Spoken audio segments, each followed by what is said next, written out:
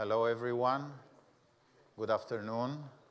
Uh, I have the privilege to, uh, to have a presentation that uh, uh was made uh, for this session, and I can do whatever I want because that was the rules of the game, so it's great. I can give you a perspective of uh, my last 40 years in the non-volatile memory industry. And uh, I took the liberty to uh, give you my humble opinion, but uh, I uh, support it. So it's a personal uh, view of uh, what have expired in the last 50 years. So why don't we start? First of all, I will introduce myself. my name is Boaz Eitan and I was uh, born in Israel. Uh, the ones that have difficulty in math, 69 in half a year. Uh, I was a fighter pilot in the Air Force, and I spent three years in Syria as a POW. It was not voluntary. Um, I did a, a uh, PhD, a master's and PhD in the Hebrew University in Jerusalem and my professor was Dov Frohman. You will see later on that it is related to the, uh, to the uh, field. And actually, we have here Asaf Shapir, whose his father was my professor too. And then I was in the NVM for 33 years, which means, give or take, about nine years ago, I moved to another field, and I'll tell you about that too. So I started as a student and I got all the way up to a CEO. And the companies I worked for was Intel, WSI, Saifun that I started. And now I'm the CEO, owner, and chairman of the board of Q-Core Medical. It's in the medical device field, but I'm not going to talk about that. So the first question came to mind, is it necessary for the NVM field to have such a history? Obviously not. And definitely helps. And I'll show you the difficulties, and you better be tough. So let's start. So I'll start from the start. There was a proposal in 67 by two very nice gentlemen. One of them, on the right, is very famous for a book, Sze. Uh, I think Many of us have had the opportunity to, uh, to learn about semiconductor devices through his book. So uh, they came up with a very brilliant idea. It, uh, you can see it's a floating gate, happened to be metal. There is a tunnel oxide, etc., etc. It's the normal floating gate device as it, uh, they came up with it and uh, was happened to be P-type, doesn't matter and has a floating gate, and tunneling, programming and erase. And many of you who know the field knows that uh, actually that's exactly what most of us were doing for most of their life. What was interesting to me was that they, they claimed retention more than one hour. So they felt like this is a big deal, that it retained the charge for more than an hour. You all know that today this would not be uh, great, and as you can imagine, never really worked. So the next thing that came to mind was the other obvious thing was MNOS. And then MNOS was also invented in 67, and believe it or not, Dov, who started Intel in Israel, was doing his PhD research on MNOS, improving MNOS. The, what is MNOS? MNOS is, again, transistor that have a very thin oxide, about 20 angstrom, nitride as a trapping layer and as a storage layer, okay? And then the, the metal gate, and uh, it was a P-type device and uh, tunneling was the uh, mechanism for program and erase. And uh, there were three little issues. One, the cycling window. Second, the retention. I will elaborate uh, uh, on it a little bit.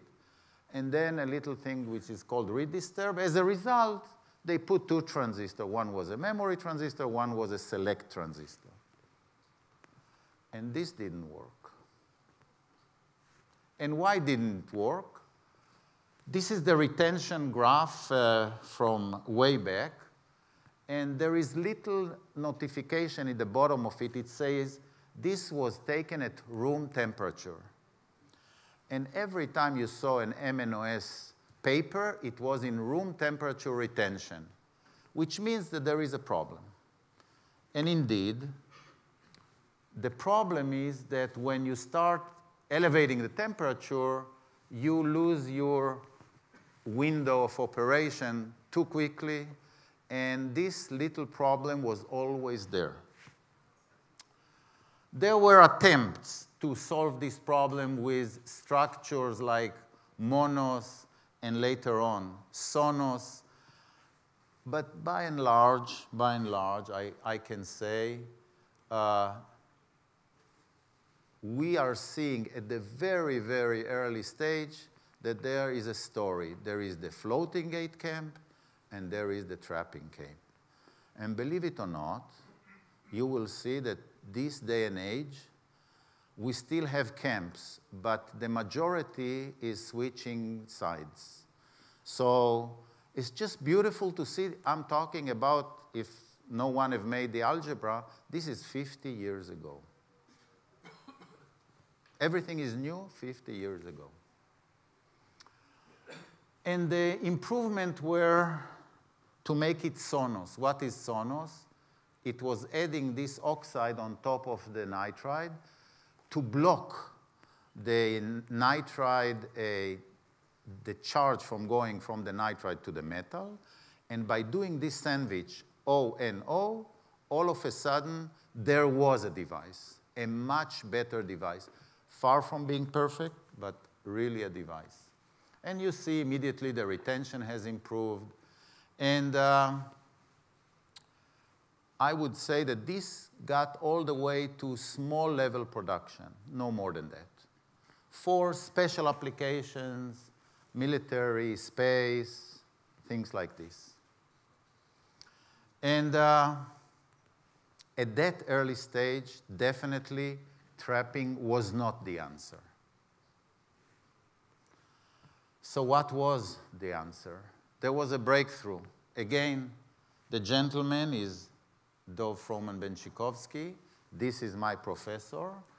And he came with an idea that uh, putting a floating gate above a channel, this was a P channel device. The programming mechanism was avalanche. There was a new idea to make the erase function It's called UV erase.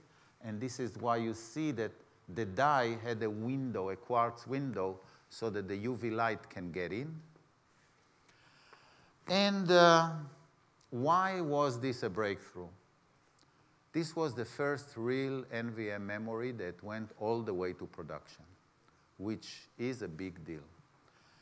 And had good reliability and had a, started an industry. It was called the EPROM industry or the OTP industry. If you didn't want to have a window, a quartz window, which made it expensive, you block the whole part, the, the chip, and you can write it only one time. But at the time, this was a great deal.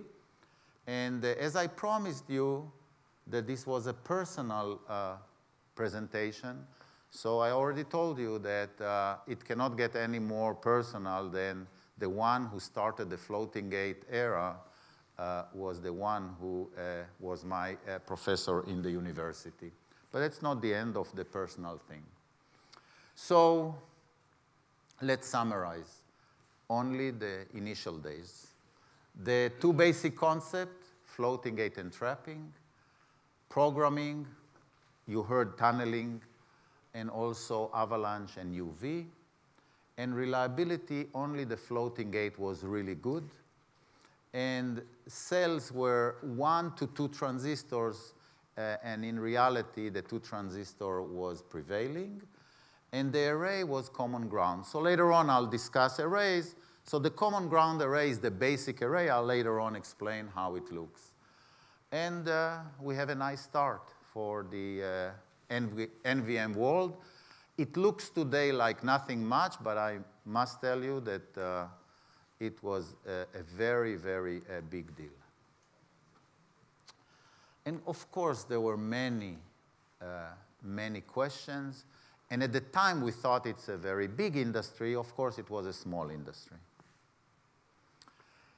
And now we make one big jump from the very start of the uh, NVM world into the flash, because flash made the difference between a small world and a much larger, much more interesting uh, world.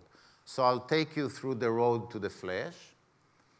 And actually, it started with the double EEPROM. What's a double EEPROM? It's actually a transistor that uh, have a, uh, the floating gate with a tunnel oxide on top. It's, this is the memory cell. This is the select cell. And uh, it was invented in 1976. As you can see, it's a, it's a, a two transistor cell.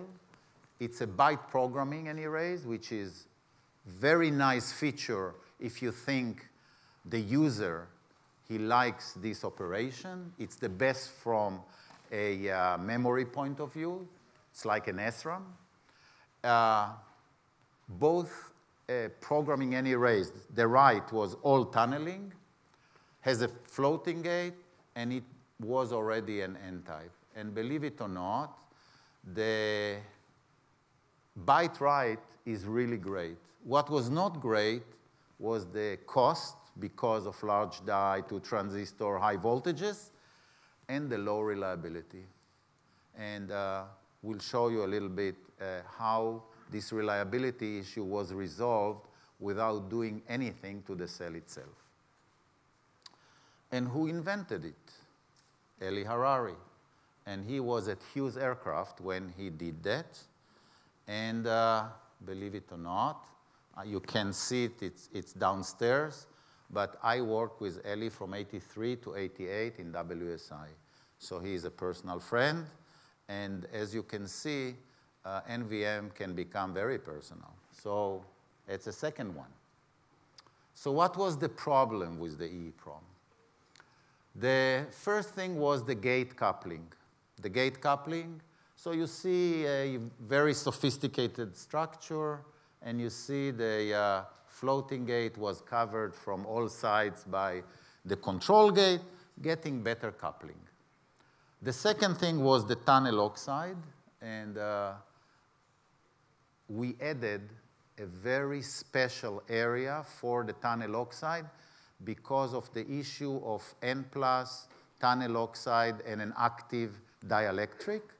And actually, the cell became out of, we called it two transistor, but actually there was a third element in the transistor. It's almost like three transistor cell to, resol resolve some of the reliability problems. The major one was to reduce the concentration of the N plus from the junction concentration to a standalone special implant just for the tunnel oxide. And um, last but not least, there was another idea to go uh, totally away from uh, all this uh, tunnel area above silicon and jump into a three-poly uh, concept that uh, you do programming and erase from the second poly between poly 1, poly 3, a highly complicated uh, concept. And um, they, uh, all of these issues were not uh, resolving the basic, basic problem, which was one, large or costly, second, yield problem, and reliability problems. So the E-square was in production, never got even to the level of the EPROM uh, a uh, market size. And uh, This is not the answer that we were all looking, though it's the first product that really the system designers liked because of its functionality. So what's a flash? A flash was invented by taking the EPROM thick oxide and making it a tunnel oxide. So this sounds like nothing much, but you will see that that's only step one in two steps. And what really made the difference was that the programming was by hot electron, which is like the EPROM. And the erase, only the erase was done at a block level by tunneling.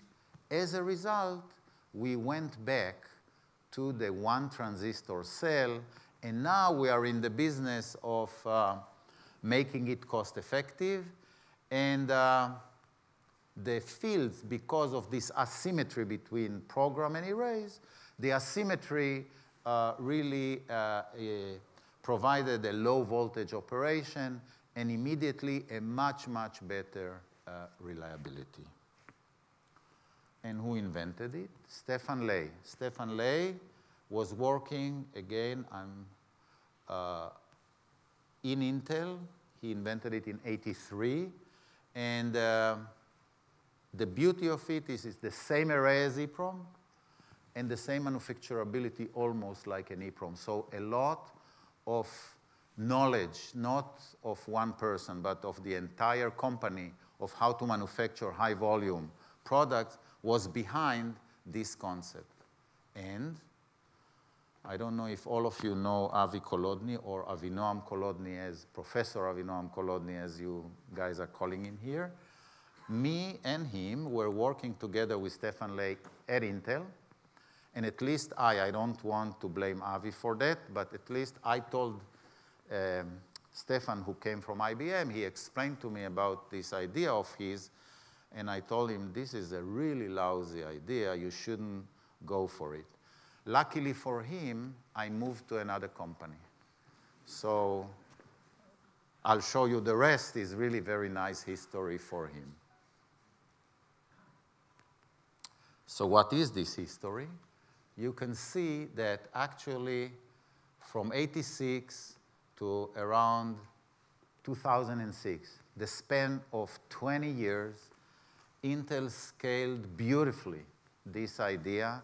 They were, for a very, very long time, market leaders, and generation after generation. So I am emphasizing who invented what, but actually that's a secondary thing because it's personal, it's interesting. But in reality, to make anything like this to production, and generation after generation, it takes great many people with really great many ideas. In a minute, I'll show you a great idea that looks like nothing, and it is great. However, Intel really uh, made this to perfection, and uh, for many generations, more than anyone could anticipate, uh, done a very, very good job by very many people. And indeed, what happened, which is this is the EPROM market size, and see what happened in the transition to the flash. And uh, Intel enjoyed this ride very much. There were little problems in this concept. As usual, they are little at the beginning when you are winning and they become very big when you are losing. So what's winning? Hot electron programming is very high power. And uh, this is not good for if you want to do data. If you want to do code only, this flash is perfect. It's called code flash, and it is perfect.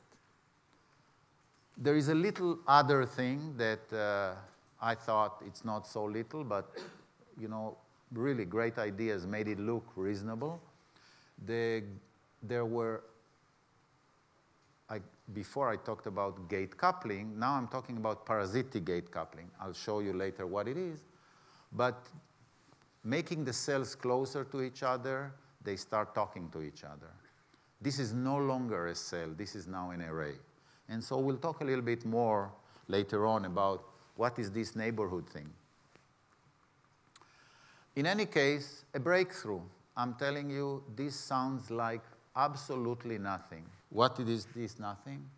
Rather than program the device, you do it what we used to call program and verify or smart programming. What, shows, what is so smart about it? You program a little bit and you ask the cell, how are you? Have you gone to the right level? If the answer is yes, stop programming it. If the answer is no, continue. It doesn't sound like much, but when you have a very fast cell and a very uh, slow cell, and you program all of them by making one pulse, one set of voltages, one length of time, it means that one cell will program very high and one cell will program very low. And the cell that program very high, you guys think is great. It's not good because there is too much charge there, high fields, reliability problem. And the cell that could make it, it's a yield problem. It is too slow. It didn't make it. So this was a, a, a, uh, a, tradition of, you know, real men make product, you give one pulse and you forget about it. And uh, it didn't work for the E-square, as I told you before. This little idea brought a lot of great things to the picture. And uh, the only little problem with it, which was very strange to the memory design community, was that you have to, to start designing a system on a chip. It's no longer just memory X, Y, voltages, go on. It's now you have to have logic, and you have to be able to change the logic and to improve it, etc., etc. And uh, this, however, changed the world in two ways. One, it pro provided much higher yield and much higher reliability. And uh, I'm saying it so uh, enthusiastic about this triviality is because it is hard to recognize when it happens how big is something so simple, so nice. This is another outcome of uh, this little invention that I showed you. So if you, if you want to make more than one bit per cell, you see you do more threshold levels. You cannot do it without a smart algorithm. It just, there is no hope to do it. And if you want to do three bit, and I'm not talking about four, only three, now this is real challenge. This is no longer just a smart algorithm. Now you have to have some better concepts, but that's okay. You have a system on a chip if you need to do error correction, error correction was not invented for Flash. It was there. You just have to implement it, do a smart job. It's non-trivial, but it's, it's known to the, to the human race. So the great gain is when you move from one bit to two bit. When you move to the third bit, there is a much smaller gain than what you would imagine as another 50% because of the overhead. So, however, the solution of the 3-bit is absolutely perfect for data flash. And actually, if you need some area in the device to be very high reliability, you can make it a 2-bit cell or 1-bit cell. I mean, that, that's a, a, just a logic uh, decision. So really uh, a, a, great progress, and, uh, and that's how the world moved from EEPROM that was nice, but no more than that, to something that was substantial, which is flash. So at this time, we're talking about 1980s, 90s, and even the beginning of the, of the 21st century the floating gate is the great clear winner. And uh, the market is dominated by the code flash. And uh, I explained to you the hot electron programming, the non-symmetrical physics, 1T, very high reliability. And because it's the very same technology as it was for the EPROM, high yield, everybody was happy, and the MLC was a great breakthrough on the, the in, as to add one more layer of uh, density to the uh, memory array. So we are really having a very nice progress. You don't pay attention to it, but we are almost 30 years later to where we started. So that's what it takes, tenacity. It's not, yeah, I have a friend who is saying that uh, to make an instant success, an instant success takes 30 years of hard work. So that's how the industry uh, progressed. This is not a one or two great ideas. This is a lot of people doing really great job. So let's talk a little bit about the neighborhood, because the neighborhood has a lot to do with the continuous scaling of uh, NVM. So I'm starting with what was the workhorse of the industry for many, many years, and even today it's a very important one. It's called the Common Ground Array, and what's common about it is a diffusion line, and what's uh, special about it, especially in a negative way, is that every cell have half a contact, every memory cell have half a contact belonging to him, contact technology is not a happy technology. It's a complicated one. And then you have to put it next to two polygates, and uh, at least at the time that this was uh, done, it was not an easy process. So the beauty of the common ground array, however, it is very simple to operate. And then it's also very fast access time inherently.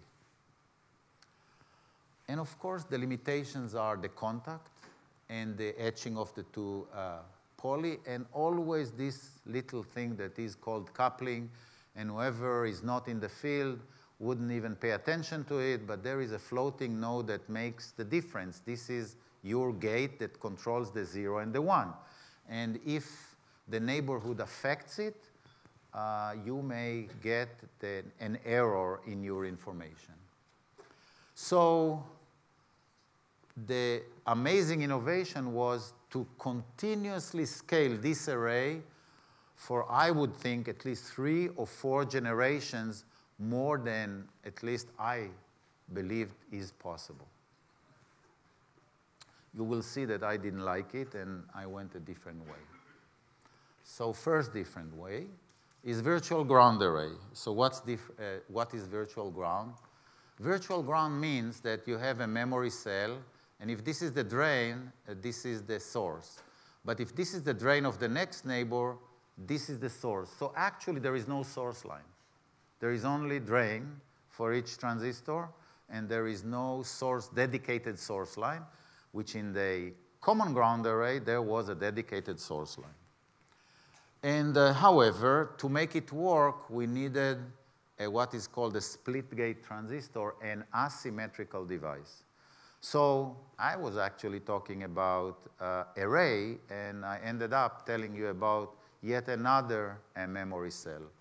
And uh, indeed, in 1985, we at WSI made it to volume production, and uh, it was uh, working, and it has a lot of benefits. One of them is that it is not sensitive to the gate coupling. And I did it with Eli Harari uh, at WSI, and we have ST Microelectronics in, uh, in uh, Italy doing it, and we had Sharp Corporation in uh, Japan doing it. And actually, uh, this is a very, very nice idea, and it was uh, the same mechanism as this was good for EPROM, and it was a virtual ground array. However, 1987 came an absolutely amazing idea. I will discuss a lot more about this idea. It's called the NAND array. What's a NAND array? So remember the, the common ground array with the contact? Everybody knew that this is not a good idea, this contact. It's too much work and too much area. So an NAND cell is, these are memory cells, one select, two select, common ground array, but for many cells. The chain was at the beginning 8 cells, 16 cells, 32 cells, you name it. So now every cell in the array is a memory cell, and it's also a pass transistor of the information of its neighbors. So, for example, if you want to read this cell, all of these other neighbors are pass transistor for it. It's unbelievable how complex this thing is. It's actually, it shouldn't work. This is not a good idea.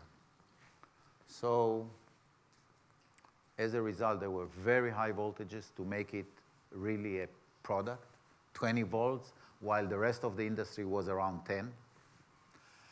And uh, of course, you cannot program neither byte nor page. You have to program a much larger page, and you can only do block erase, and a lot of disturbs, a lot of disturbs. So when we uh, saw the paper by, by Masuoka from Toshiba in 1987 IEDM, we thought that this is crazy, absolutely non-practical idea. And uh, we, it's not just me, the royal we, it's also Eli Harari who owns now a fab that is doing it day in, day out. So when it came about, that's what's funny about it. When I talk about NAND today, everybody thinks this is, uh, this was, you know, was it before the day and night were invented or after? It sounds like it was always there. It was not always there. It's just 20 years, and it sounded like a very bad idea. So the difference is, of course, the time. And uh, there is one more array. It's called cross-point array. Most of you have never seen a product with it for a reason. But uh, this is the true 4F square cell. And uh, you can have the entire CMOS array underneath it.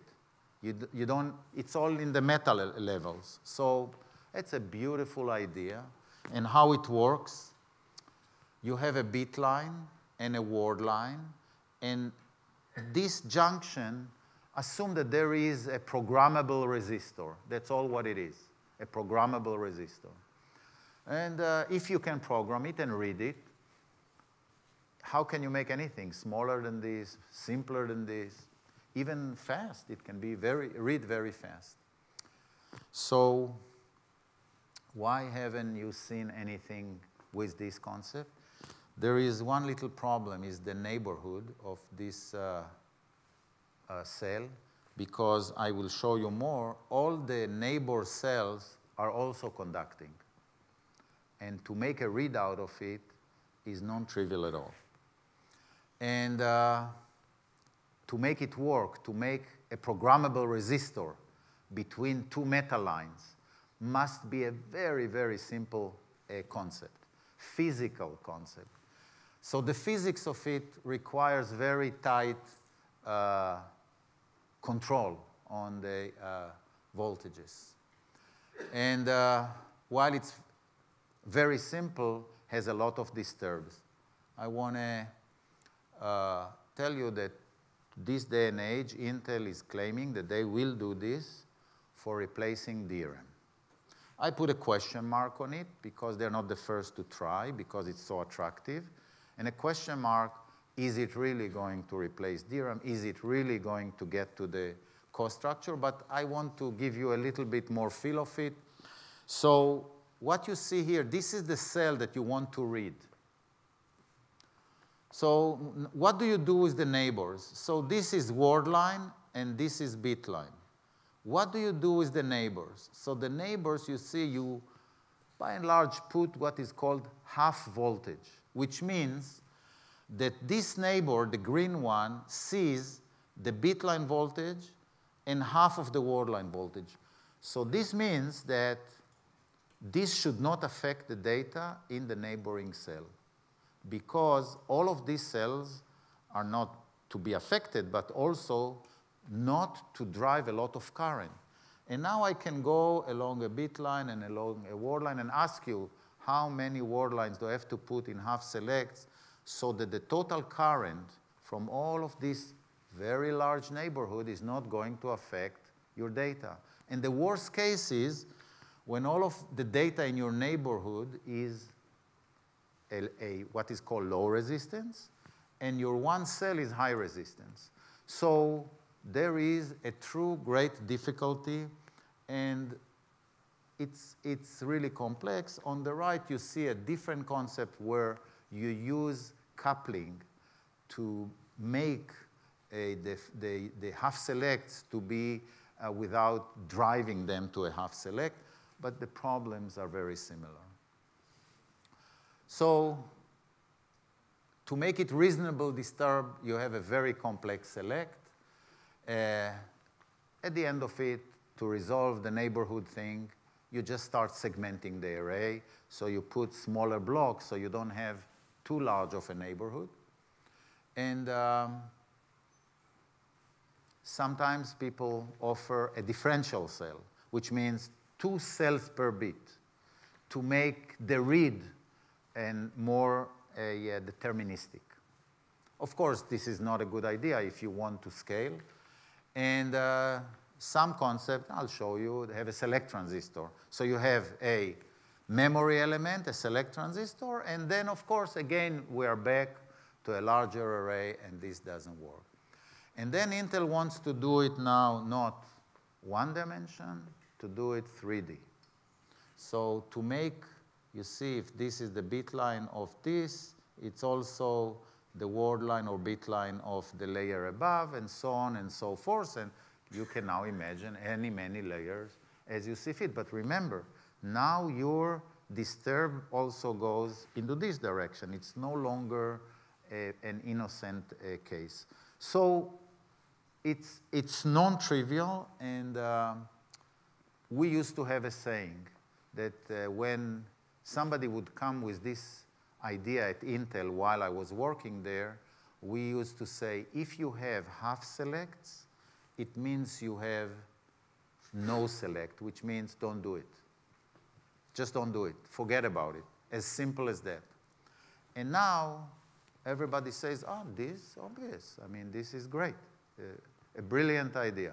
So if they solve it like usual, if they solve this problem, of course they have a very, very important breakthrough in their hands. And if they don't, they can afford it. Here you see the condition on the, uh, on the read. And I'm, of course, I'm not going to take you through all of this. I just want to show you what neighborhood means.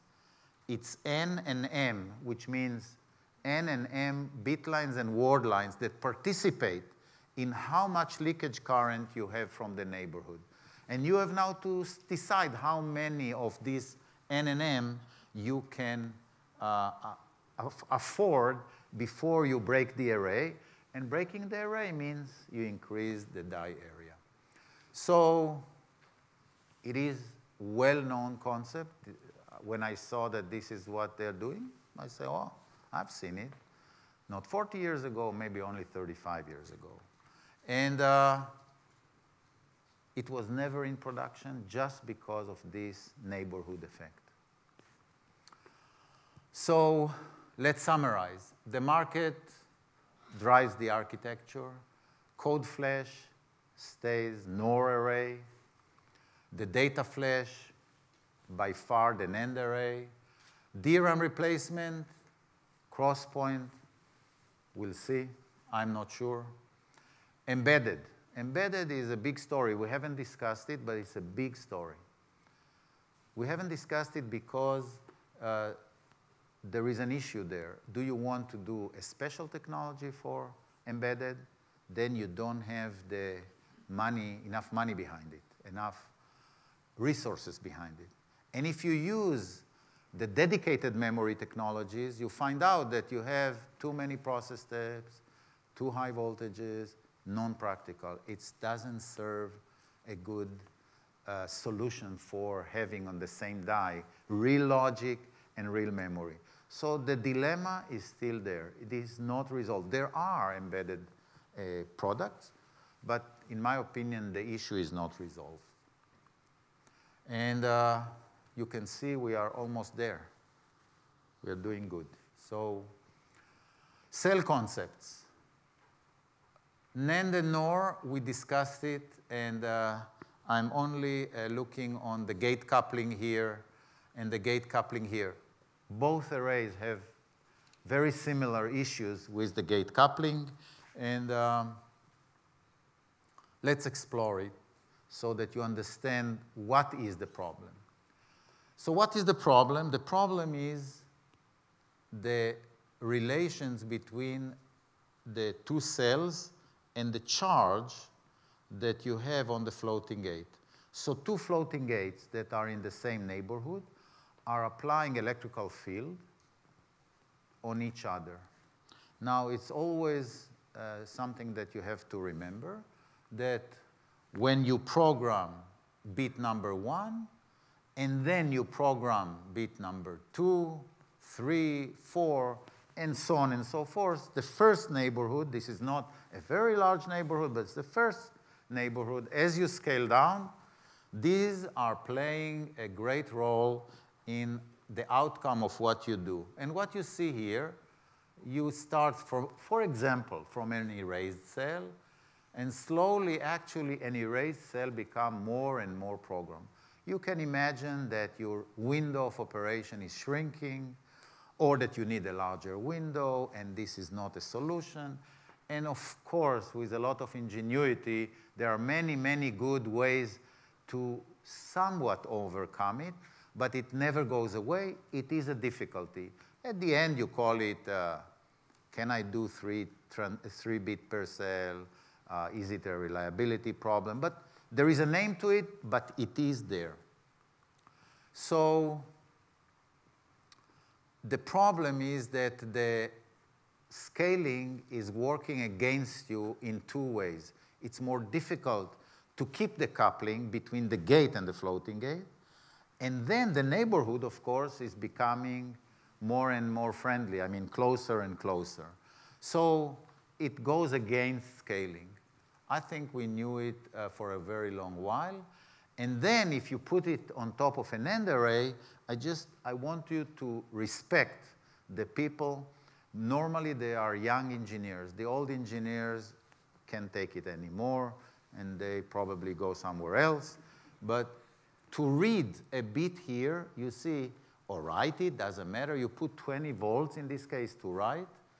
You put select transistors on your gates, and you have to live with a very small window between program disturb and pass disturb. So you are working, I'm talk, I was talking about neighborhood coupling. All of a sudden, you also have to take care of this. Wow and people are making it uh, to really high volume production in an unbelievable way, and it takes really a great belief and a lot of work. So yes, it is working, and uh, everything has to be very good, process control, the system on a chip, error correction here, of course, and uh, you have to accept that there is reduced reliability with it, but that's okay. It's, Reduced reliability is taken care somewhat by the error correction. So the situation is definitely impossible, but definitely was made possible. And uh, for the last 20 years, data flash is controlled by the floating gate NAND. But I didn't like it. So we at Saifun came with a, uh, a very nice idea. It's called a uh, NROM. It's a trapping device. So you remember we started trapping, we told you it doesn't work. We went uh, about 30, more than 30 years forward, fast forward, and here we come, and we have this brilliant idea that uh, trapping is the, is the way to go. And what did we do? We did the following. First of all, we did the first breakthrough was to have two physical bits in one transistor. So there is no more playing games, you know, multi-level, all of this stuff. Really two separate bits.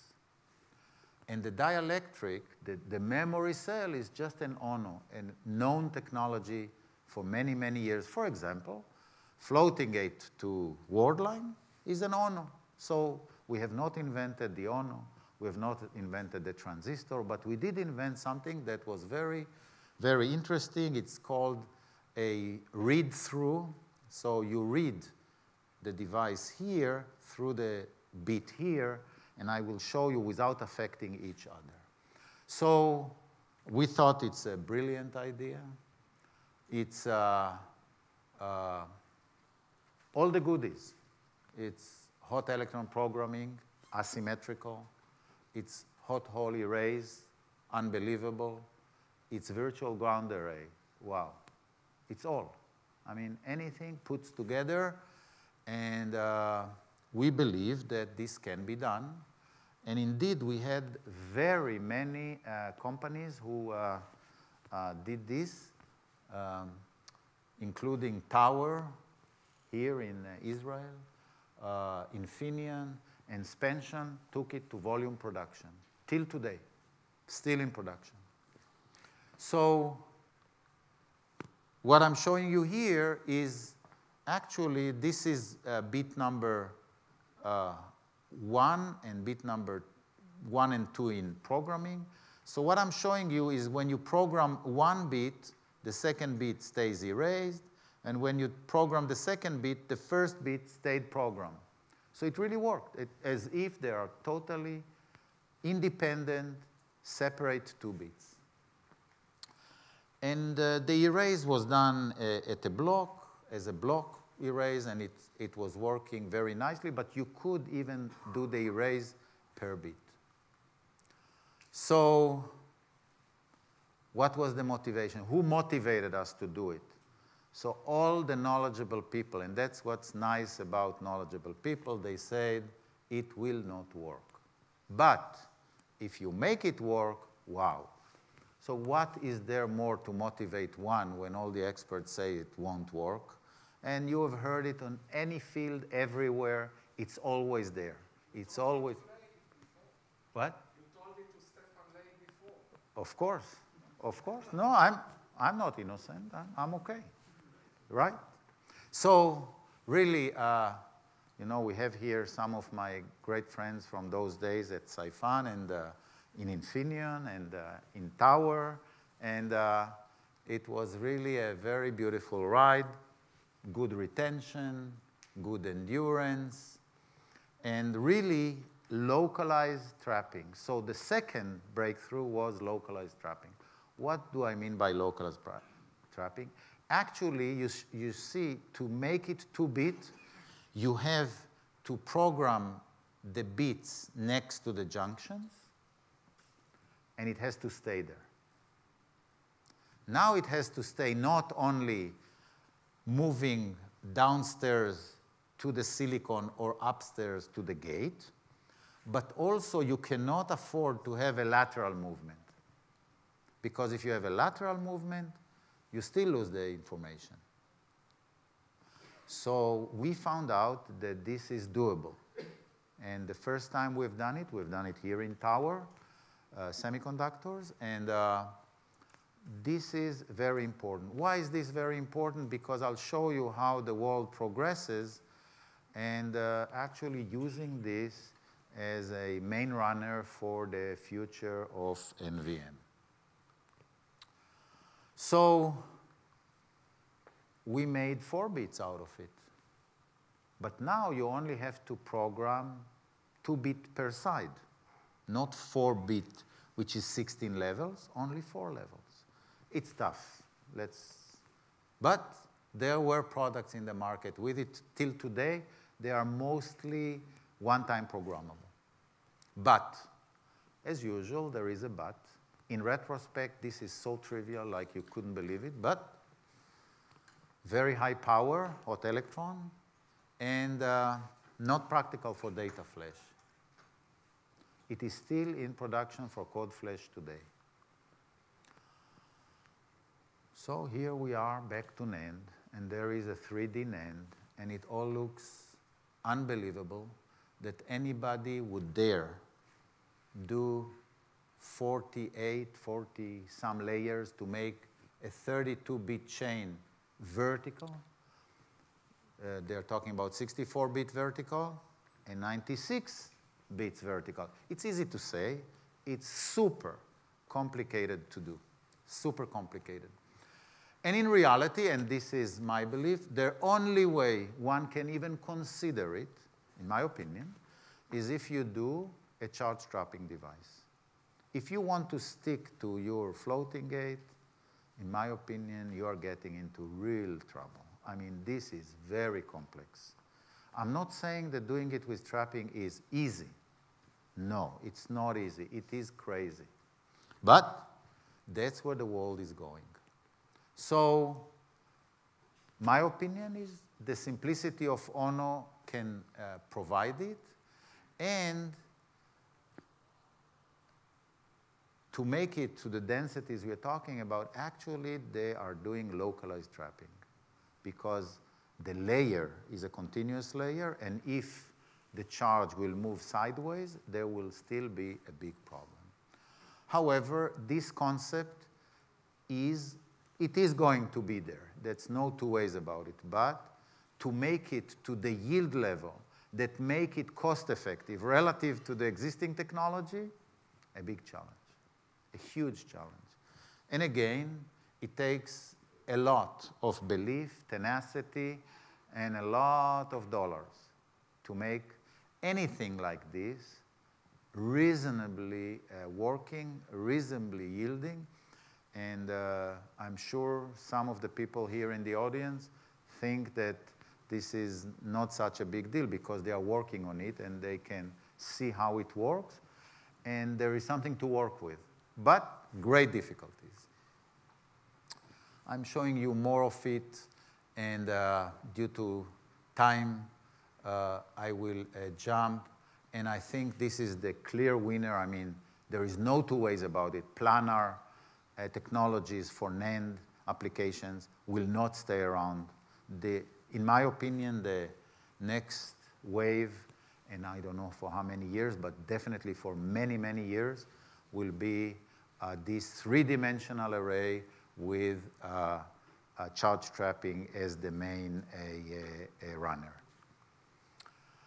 However, there are many, many other cells. I'm not going to go through all of them, but FERAM, PCRAM, MRAM, PRAM, I'm, I'm talking uh, English. If you haven't heard all of these acronyms, many, many ideas of how to make the ultimate memory.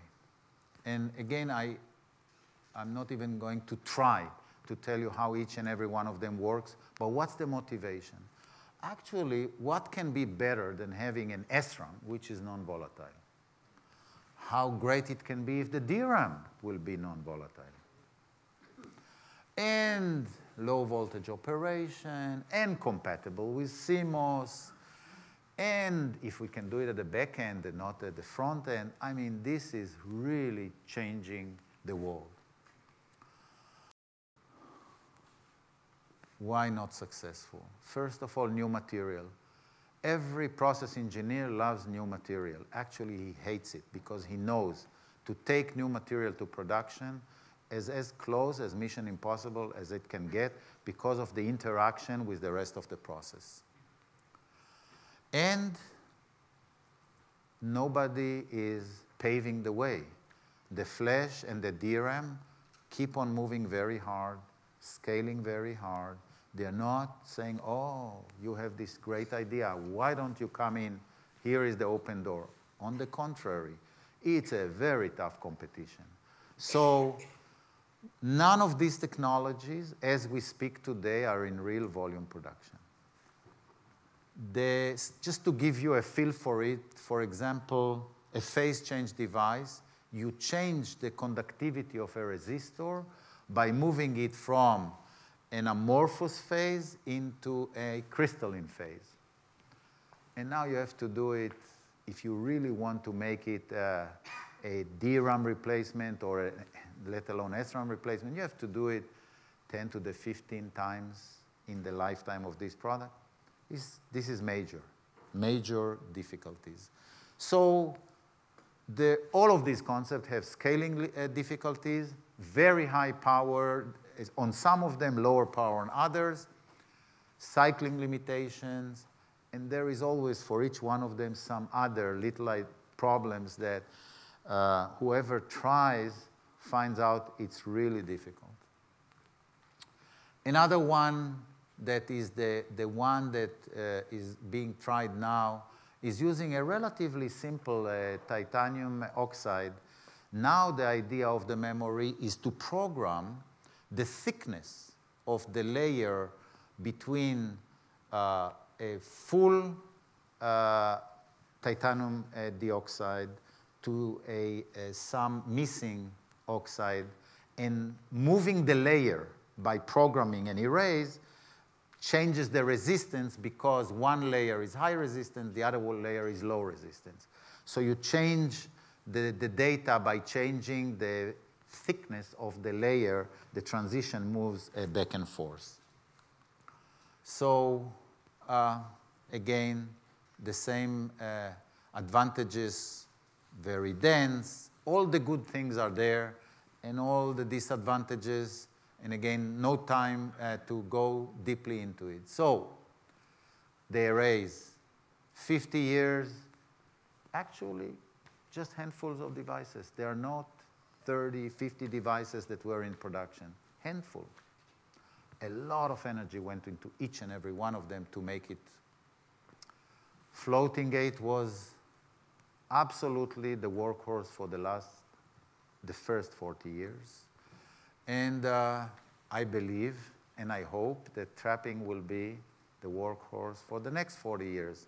And I also hope to stay around to see it. And uh,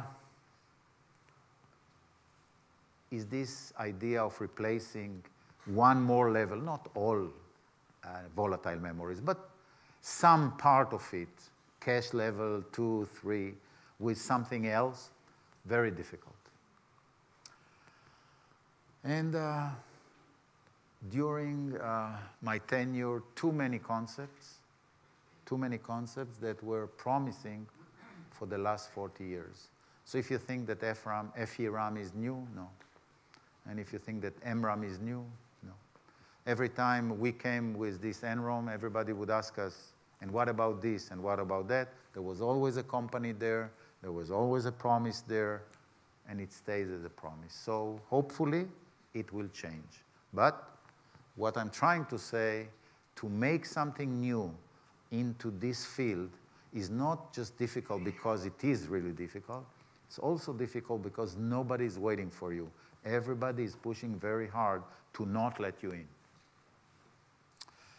And you know, in, in Israel, uh, when somebody brings a uh, 99, his mother would ask him, why not a 100?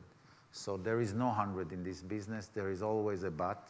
And because there is a but, as I showed you, uh, there is always a hope for the next great idea. Very quickly, the product, as you can see, the EEPROM age, the NOR flash age, starting to look like a market. And guess what? Beautiful, beautiful uh, business this is, uh, I believe, almost uh, the size of half of the Israeli budget, so for one industry. So pretty good. And uh, the functionality is great, and all of us are using it now in their laptops, uh, cell phones, what have you. Just great. And the evolution I showed you starting from the first idea through all of these cells that we have discussed in this short presentation, maybe not to the great length that it deserves, but just remember, by the end of the days, there will be no electrons to store. And uh, that's a limitation, short of inventing a new charge. So you see the NOR stays with quite a bit of electrons stored, and that's why the reliability is very good. in the NAND, there are very few electrons left. And it doesn't matter if it's a trapping NAND or a, or a uh, floating gate NAND, it's very few electrons. So it is challenging. It, it, you know, people talk about it as if uh, this is just walking in the park, and whoever is the winner looks on everybody else and say, oh, these miserable people. But as long as you're the winner, you're happy. But it is tough, very, very tough. And don't get afraid because it's working. And uh, as I showed you, so few concepts, last 50 years, such a few amount of them really made it. So if you have a great idea, don't just think positively how it will work. That's tough enough. What will make it not to work is as important as what makes it to work. And to get both of them into product to production, it's really wow. Final thoughts density. So you see the planar technology definitely is slowing down. And it's not because it's easy to move from here to here. It's really a lot of work, a lot of money, a lot of good work of many, many people. And the, uh, the vertical one, you see, it's projected. It's projected to go on and on and on. Many doubt the 96, some doubt the 64 because it's not 64 layers, it's a chain of 64. There are many more layers there. So, uh, this is uh, really hitting the scaling limitation uh, due to this, one of these issues, and there are a few more. And the same for uh, the cost. The cost is just the reflection of the same story in here. And if you didn't get it, I believe that the, what is called 3D trapping NAND is the wave. And uh, if you want, I'll tell you that I am not very optimistic about this technology. I can afford it. Who are the winners? That's it. Serial NOR, clearly the 2-bit NROM, still also a floating gate, but it has small market, stayed small. Data memory, the main market, we talked about it. DRAM replacement, very tough. And embedded, still an open question. That's beautiful. I mean, there are solutions, still a big question. And since it's a personal thing, it's tough. If you didn't get it from my presentation, it's okay, but uh, it is tough. It's amazing, it's very demanding. And then I moved to the medical device about 10 years ago. Believe me, looks simple. Thank you.